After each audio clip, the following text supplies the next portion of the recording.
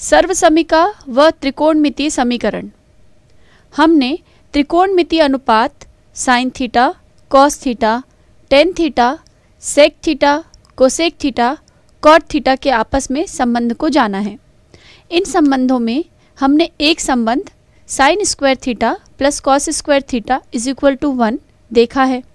यह संबंध थीटा के सभी मानों के लिए सत्य है।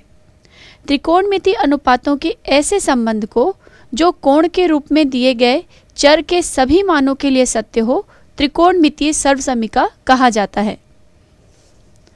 तब, क्या संबंध sine theta plus cos theta is equal to one भी एक सर्वसमिका है? आइए देखें। सर्वसमिका व त्रिकोणमिति समीकरण। हम यहाँ एक त्रिकोणमिति अनुपात में संबंध ले रहे हैं।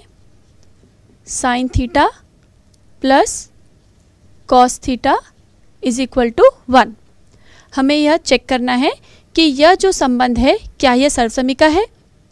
यदि थीटा के सभी मानों के लिए यह संबंध सत्य हुआ तो यह एक सर्वसमिका होगी। परंतु यदि थीटा का एक भी मान ऐसा मिला, जिसके लिए यह संबंध सत्य नहीं है तो यह एक सर्वसमिका नहीं होगी। चलिए करके देखते हैं। हम थीटा बराबर ज़ीरो डिग्री लेकर चलते हैं। इस संबंध में हम थीटा का मान ज़ीरो डिग्री रखेंगे तो हमें मिलेगा, हम इसे इस तरह से हल कर सकते हैं, साइन थीटा के स्थान पर zero degree plus cos theta के स्थान पर ज़ीरो डिग्री। बाएँ पक्ष में हमने इसका मान रखा है। अब देखिए, साइन ज़ीरो डिग्री। हम जानते हैं, चूँकि साइन ज़ीरो डिग्री का मान होता है ज़ीरो, और कॉस ज़ीरो डिग्री जो होती है, उसका मान होता है एक। त्रिकोणमिति सारणी जो है, उससे आप त्रिकोणमिति जो सारणी है, वहाँ से आप देख सकते हैं इसको। तो हम इसका मान रख लें साइन ज़ीरो डिग्री का मान zero plus cos zero degree का मान वन और ज़ीरो प्लस वन हमें मिलेगा इसका मान वन तो इससे हमें एक प्राप्त हुआ है, जो कि संबंध का दायां पक्ष है। इसलिए हम कह सकते हैं कि थीटा बराबर ज़ीरो डिग्री के लिए यह जो संबंध है वो सत्य है।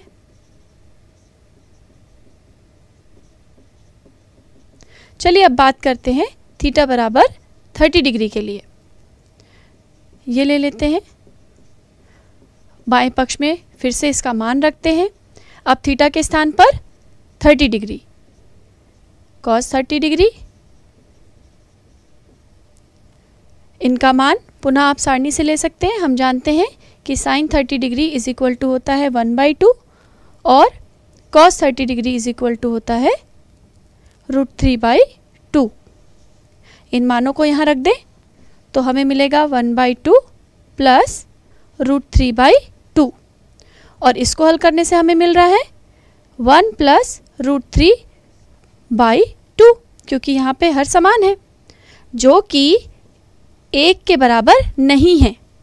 यानी यह दाएँ पक्ष के बराबर नहीं आया। तो थीटा बराबर थर्टी डिग्री रखने पर यह संबंध जो है वो सत्य नहीं हुआ। इसका मतलब यह संबंध जो है वो सर्वसमिका नहीं है। चलिए आगे देखते हैं। तो हमने अभी देखा कि जो संबंध हमने लिया था, sine theta plus cos theta is equal to one के लिए theta is equal to zero degree पर संबंध सत्य है। परंतु theta is equal to thirty degree पर हमने देखा कि यह संबंध सत्य नहीं है। ऐसी स्थिति में हम यह कहेंगे कि यह सर्वसमिका नहीं है, परंतु थीटा के किसी मान के लिए यह सत्य है। ऐसी स्थिति में इन संबंधों को कहा जाता है त्रिकोणमितीय समीकरण, यानी कि sine theta plus cos theta is equal to one, यहाँ पर एक त्रिकोणमितीय समीकरण है।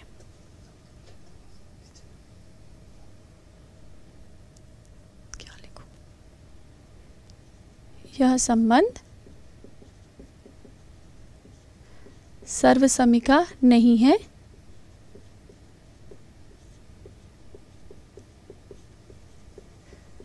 परंतु चूँकि थीटा के कुछ मान के लिए यह सत्य है, इसलिए ये कहेंगे कि यह त्रिकोणमितीय समीकरण है।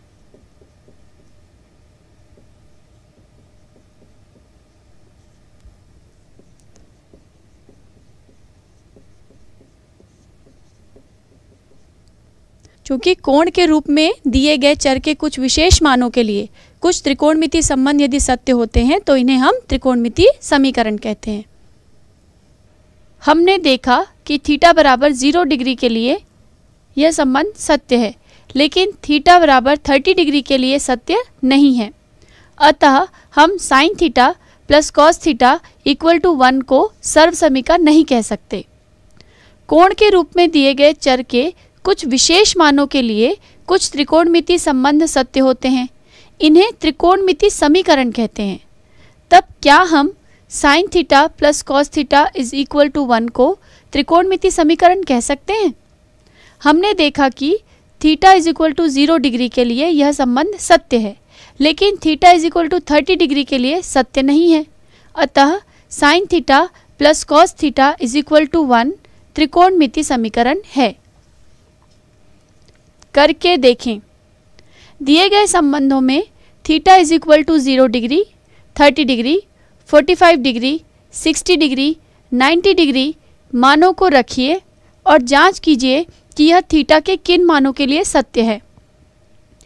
पहला cos theta plus sine theta is equal to square root two दूसरा tan square theta plus cos square theta is equal to two तीसरा two cos square theta is equal to three times sine theta चौथा tan theta into sec theta is equal to two square root three theta के जिन मानों के लिए त्रिकोणमिति समीकरण सत्य है, वे मान त्रिकोणमिति समीकरण के हल कहलाते हैं।